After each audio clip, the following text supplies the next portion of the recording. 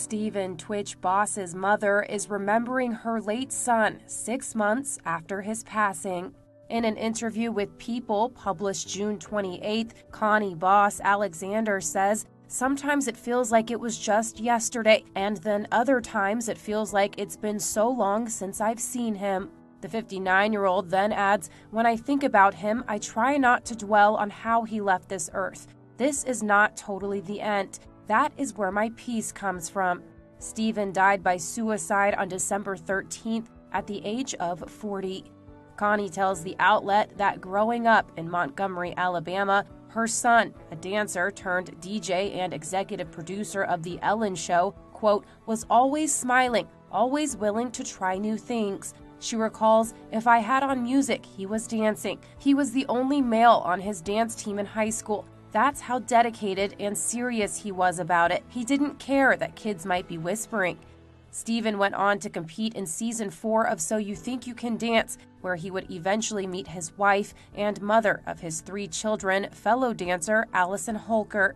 As Connie shares with People, she was just 18 when she had Stephen, the eldest of three boys, and they only grew closer when Stephen became a father himself. She explains, as an adult, I think he really was able to see and appreciate some of the challenges I had as a young parent. And we talked about those things. I'm the classic boy mom, very protective. If we weren't talking every day, we were texting. He was my heart. Thinking back on the days and weeks that followed his death, Connie continues, you find yourself in a lot of introspection, a lot of looking back. Did I miss something? Did he mean something when he said this? It was just very, very shocking.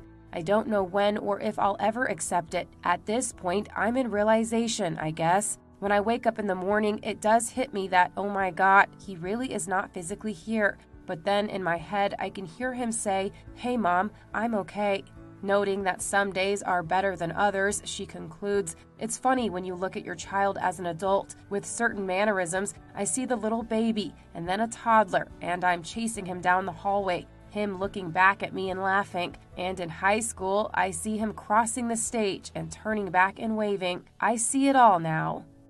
If you or someone you know needs help, call 988 to reach the Suicide and Crisis Lifeline or visit 988lifeline.org.